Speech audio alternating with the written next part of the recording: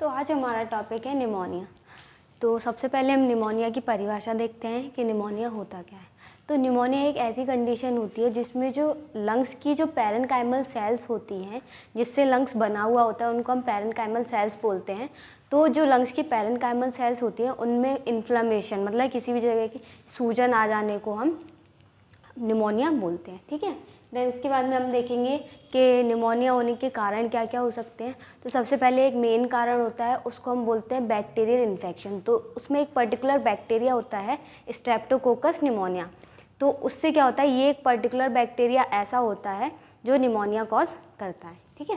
Then उसके बाद में हम क्या देख सकते हैं क्या क्या कारण हो सकते हैं। उसके बाद में कोई भी स्मोकिंग ठीक है? जैसे कोई हमारी जो लाइफस्टाइल होती है डेली लाइफस्टाइल होती है उसमें हमारा स्मोकिंग करना हो सकता है इनहेल करना, ठीक है? टॉक्सिक गैसेस इनहेल करना, ये सब हमारे कॉजेज़ हो सकते हैं, ठीक है? और एक सबसे बड़ा फैक्टर एक और होता है, एक होती है इम्यूनो कॉम्प्रोमाइज कंडीशन तो इम्यूनो कॉम्प्रोमाइज कंडीशन क्या होती है?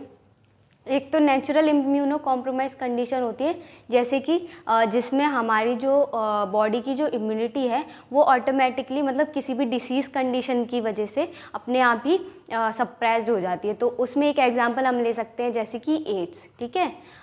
एक्वायर्ड इम्यूनो डेफिशिएंसी सिंड्रोम तो ये एक एड्स ऐसी बीमारी होती है, ऐसी डिसीज़ होती है, जिसमें क्या होता है, जो हमारी बॉडी की जो इम्यूनिटी होती है, वो उस बीमारी की वजह से ही कम हो जाती है, ठीक है? क्योंकि ईजीली उस जब, उस बीमारी के टाइम पे ईजीली कोई भी बैक्टीरिया हमारी बॉडी में एंटर करके डिसीज़ कॉज कर सकते हैं या किसी भी चीज़ से ईजिली हमें इन्फेक्शन हो सकता है।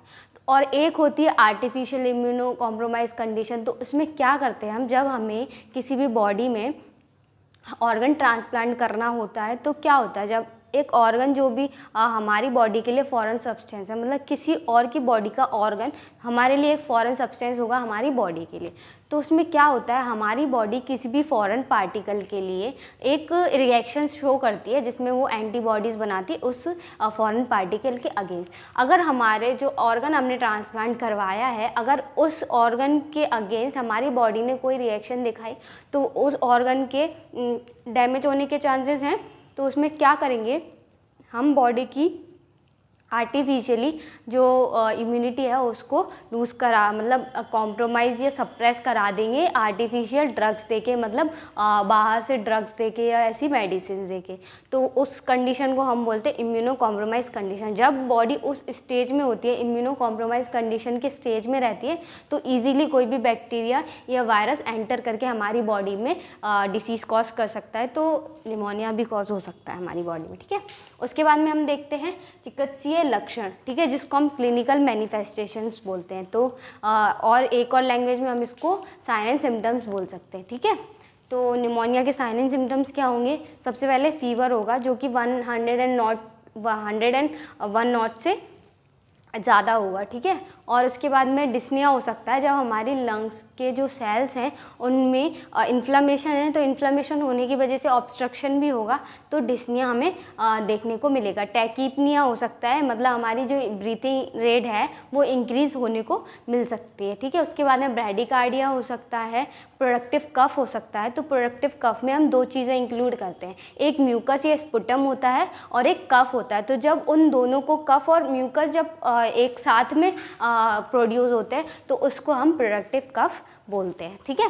देन इसके बाद में हम देखेंगे कि डायग्नोस्टिक इवेल्यूशन क्या क्या कर सकते हैं? मतलब कि नैदानिक परीक्षण। अगर हमारे पास कोई भी पेशेंट आता है जिससे जिसमें हम हमें निमोनिया के साइन एंड सिम्टम्स देखने के लिए मिल रहे हैं तो फिर हम उसके लिए क्या आ, ऐसे नैदानिक परीक्षण या मूल्यांकन करेंगे जिससे क्या होगा हमें कंफर्म हो जाएगा ये मरीज़ या ये पेशेंट या ये व्यक्ति जो हैं वो निमोनिया से ग्रसित हैं या निमोनिया उनको हो हो रखा है। ठीक है? तो सबसे पहले हम करेंगे थॉरो हिस्ट्री टेकिंग लेंगे उनसे कि उन्हें कब से ये प्रॉब्लम हो रही है। ऐसा जेनेटिकल भी हो सकता है कभी हिस्ट्री में किसी को ये डिसीज़ कंडीशन हो तो आ, इस पेशेंट को भी हो सकती है।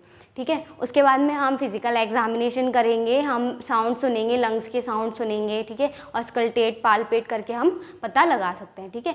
देन इसके बाद में हम क्या करेंगे? ब्लड टेस्ट करवाएँगे, जिसमें हम ब्लड कल्चर करवा सकते हैं चेस्ट एक्सरे करवा सकते हैं M R I C T scan ये सब हम करवा सकते हैं। इसके बाद में हम ब्रोंकोस्कोपी भी करा सकते हैं। तो ब्रोंकोस लेप्रोस्कोपी में हम देखते हैं क्या होता है। एक ट्यूबलाइट स्ट्रक्चर होता है जिसके एक एंड पे क्या लगा होता है कैमरा फिट होता है। तो उसे हम अपने लंग्स के अंदर डालते हैं इंसर्ट करवाते हैं। उससे हमें कैमरे के थ्रू हम एक एलईडी में आ, सब कुछ देख सकते हैं कि हमारे लंग्स के अंदर क्या कंडीशन बनी हुई है। तो इससे हम देख सकते हैं कि कहाँ पे ऑब्स्ट्रक्शन है कहाँ पर नहीं है कि हमारे लंग्स में क्या किस जगह प्रॉब्लम है ठीक है। देन इसके बाद में हम देखेंगे मेडिकल मैनेजमेंट मतलब कि चिकित्सीय प्रबंधन। तो हम क्या चिकित्सक प्रबंधन कर सकते हैं ठीक है। तो सबसे पहले अगर किसी मरीज़ को डिस्निया हो रहा है तो सबसे पहले हम उसको ऑक्सीजन थेरेपी प्रोवाइड करेंगे, ठीक है? ऑक्सीजन थेरेपी प्रोवाइड करने के बाद में अगर उस व्यक्ति को फीवर है तो हम उसको एंटीबायोटिक्स प्रिस्क्राइब करेंगे। देन उसके बाद में एंटीबायोटिक्स प्रिस्क्राइब करेंगे, क्योंकि अगर ये पर्टिकुलर बैक्टीरिया स्टेप्टोकोकस निमोनिया के थ्रू हो रहा है ये इन्फेक्शन तो हम उसको पर्टिकुलर एंटीबायोटिक एडमिनिस्टर करेंगे। देन उसके बाद में हम म्यूकोलाइटिक्स तो म्यूकोलाइटिक्स क्या होता है? अगर हमारी चेस्ट में डीकंजेश मतलब कंजेशन हो रहा है तो डीकंजेशन और म्यूकोलाइटिक्स क्या करते हैं? म्यूकोलाइटिक जो म्यूकस होता है, उसको तोड़कर बाहर निकालने में काम करते हैं। और डीकंजेशन क्या होता है? जो कफ होता है, जो प्रोडक्टिव कफ है, उसको बाहर निकालते हैं, ठीक है? देन uh, अगर पेन है किसी पेशेंट को चेस्ट वगैरह में पेन हो रहा है तो हम एनालजेसिक्स भी एडमिनिस्टर कर सकते हैं। एंड देन इसके बाद में हम देखते हैं सर्जिकल मैनेजमेंट ठीक है? शल्य चिकित्सक प्रबंधन। तो निमोनिया uh, एक ऐसी कंडीशन है जिनमें किस कोई भी शल्य चिकित्सक प्रबंधन या शल्य चिकित्सक व्यवस्था की ज़रूरत नहीं पड़ती है। क्योंकि निमोनिया एक uh, इतनी वर्स्ट कंडीशन नहीं है ठीक है? लेकिन हो सकता है कि निमोनिया पर ध्यान ना देने पर कोई अदर डिसीज़ कंडीशन ऑप्टेन हो जाए, उसके लिए हमें सर्जिकल मैनेजमेंट करना पड़े। बट निमोनिया के लिए अभी तक कोई भी सर्जिकल मैनेजमेंट की नीड नहीं पड़ी। ठीक है? तो आज की क्लास में हमने निमोनिया के बारे में पढ़ा, जिसमें हमने सबसे पहले निमोनिया की परिभाषा डील की। परिभाषा देखने के बाद में हमने देखा कि कारण क्या क्या हो सकते हैं। ठीक है? कारण देखने के बाद में हमने देखा कि क्या क्या साइन एंड सिम्टम्स हो सकते हैं मतलब क्या क्या लक्षण हो सकते हैं। ठीक है? उसके बाद में हमने देखा कि क्या क्या हम नैदानिक मूल्यांकन या परीक्षण हम उस मरीज़ का पता लगाने के लिए कर सकते हैं। देन उसके बाद में हमने देखा चिकित्सा प्रबंधन। आई होप आज क्लास आप लोगों को समझ में आई होगी। इससे रिलेटेड अगर आपको कोई भी डाउट है तो आप पूछ सकते हैं। Thank you